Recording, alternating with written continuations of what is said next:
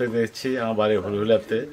গ্রামে অনেক আগে থেকে দেখছি আর কি, কোনো হয়তো মারামারি, গন্ডগোল হসপিটাল আমাদের পরিষদ আছে, এখানে সব কিছু হয়। গ্রামে চেয়ারম্যান, ভাইস চেয়ারম্যান আছে, ওখানে সালিশ হয়। হওয়ার পরেও এখানে আমরা মিটকোট করি।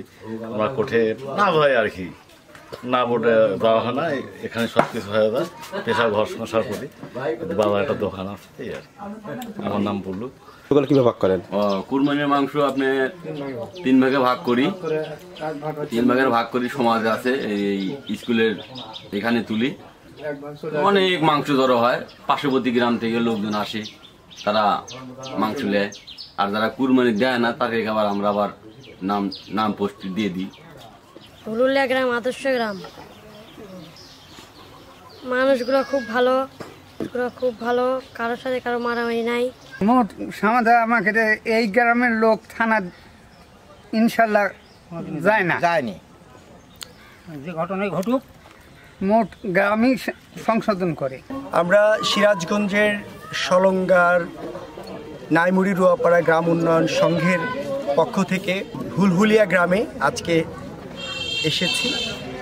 চেয়ারম্যানই পাঁচ বছর শেষের পর্যায়ে আমি হুলহুলিয়া গ্রামের যে যে সামাজিক উন্নয়ন পরিষদ আছে, যেটা নিয়ে লেখালেখি হয়েছে, সারা বাংলাদেশ, সারা বিশ্ব জানাজানি হয়েছে যে হুলহুলি গ্রামে সামাজিক উন্নয়ন পরিষদের মাধ্যমে এই গ্রাম পরিচালনা হয়। এই গ্রামের কোনো মামলা, কোনো বিষয় সমাধান করতে হলে এখান থেকেই সেটা সমাধান হয়।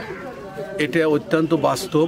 আমি এই পাঁচ বছরের মধ্যে হুলহুলিয়া গ্রামের কোনো বিচার করার প্রয়োজন হয়নি, থানা ফৌজদারি হয় নাই।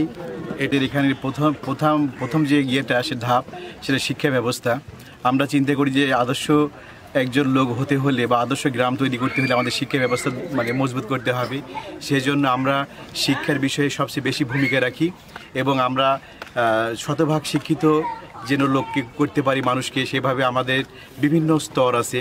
সেভাবে আমাদের সর্বনিম্ন হলে এসএসসি পাস করতে হবে বাধ্যতামূলক। আগে ছিল অষ্টম শ্রেণি পাস পর্যন্ত এখন আমরা এসএসসি করেছি।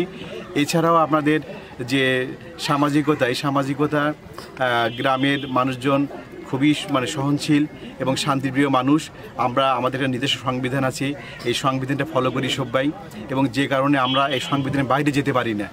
আর বাইরে যাওয়ার, যাতে পারি না বিধায় আমাদের যে একটা বাইন্ডিংস আছে, এরই মধ্যে আমরা সবাই মিলেমিশে থাকার চেষ্টা করি। যে কারণে উত্তরত উন্নয়ন সম্ভব হয়েছে এবং আশা করি কতটুকু আমরা করতে পেরেছি এটা হ্যাঁ মানে মানে বলতে পারছি না, তবে আমরা চেষ্টা করি যে একটা আদর্শ গ্রামের মানে রূপান্তর করার জন্য আমরা নিরসভাবে সবাই চেষ্টা করি মানে কাজ করে যাচ্ছি।